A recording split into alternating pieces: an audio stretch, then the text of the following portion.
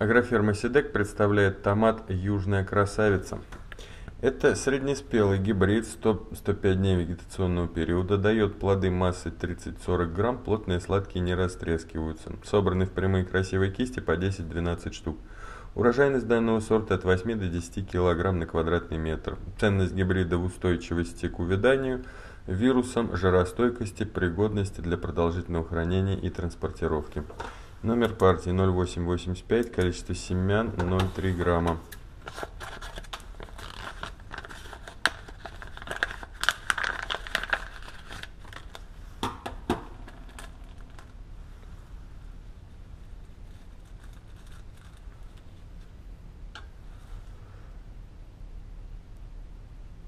Ну, 0,3 грамма вот должно быть на весах.